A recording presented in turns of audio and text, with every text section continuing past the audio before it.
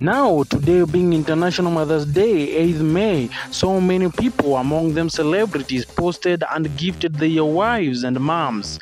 In this video, I'm going to show you what Kabi Wajesus did to Milly Wajesus. Welcome to my YouTube channel. My name is Emqba General and I'm right back with more trending updates. Remember to like, to subscribe, and to turn on the notification bell. Now, Kabi Wajesus went on his Instagram page and posted this, and I quote.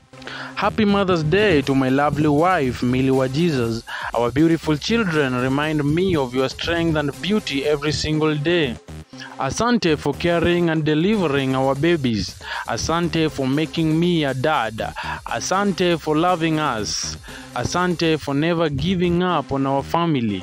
Asante for your sacrifice and love and being selfless in taking care of our children. Asante for being an amazing mom. Nakupenda. Then happy Mother's Day to my love and all amazing moms out there.